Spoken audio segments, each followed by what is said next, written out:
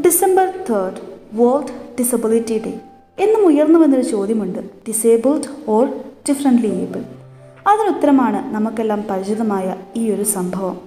ഒരു കൂട്ടം കുട്ടികളുടെ ഓട്ടപ്പന്തായമാണ്. അതായത് സമൂഹം ഡിസേബിൾഡ് എന്ന് മുദ്രകുത്തിയ ഒരു കൂട്ടം കുട്ടികളുടെ. ആ ഓട്ടപ്പന്തായത്തിനിടയ്ക്ക് വെച്ച് ഒരുവറ്റ കാൽ തെറ്റി അവൻ നിലത്ത് വീഴുന്നു. അത് കണ്ടുകൊണ്ട് മുൻപോട്ട് ഓടിയവൻ പോലും തിരികെ ഓടി വന്ന് അവനെ താങ്ങി എഴുന്നേൽപ്പിക്കുന്നു. അവനെ എഴുന്നേൽപ്പിക്കുക മാത്രമല്ല ചെയ്തത്. അവനെയും പിടിച്ചുകൊണ്ട് ആ ഓട്ടപ്പന്തായം അവർ പൂർത്തിയാക്കി. ഇതിൽ നിന്ന് നിങ്ങൾക്ക് എന്താണ് മനസ്സിലായത്? ഇനി ചില ചോദ്യങ്ങൾ. നിങ്ങളുടെ കാലുപയോഗിച്ച് നിങ്ങൾക്ക് എഴുതുവാൻ സാധിക്കുമോ? വായു ഉപയോഗിച്ച് ചിത്രം വരയ്ക്കുവാൻ സാധിക്കുമോ? കൈകാലുകളില്ലാതെ നീന്തുവാൻ സാധിക്കുമോ? നിങ്ങൾക്ക് സാധിക്കത്തില്ലായിരിക്കാം. പക്ഷേ അങ്ങനെ സാധിക്കുന്നവരുമുണ്ട്. നമുക്ക് ചുറ്റും. അങ്ങനെയുള്ള ചിലരുടെ ചിത്രങ്ങളാണ് നിങ്ങളീ കാണുന്നത്.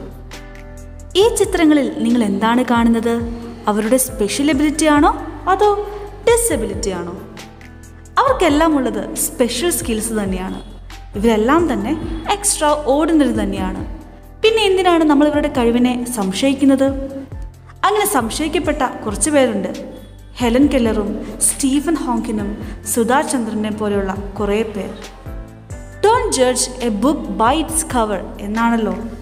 പക്ഷെ ചിലപ്പോഴെങ്കിലും നമ്മൾ ഡൗട്ട് ചെയ്യാറുണ്ട്.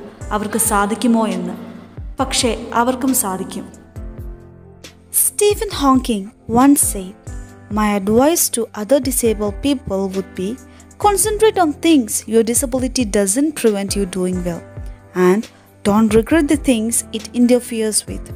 Don't be disabled in spirit as well as physically. Don't cry over a missing limb, but decide to make every limb count.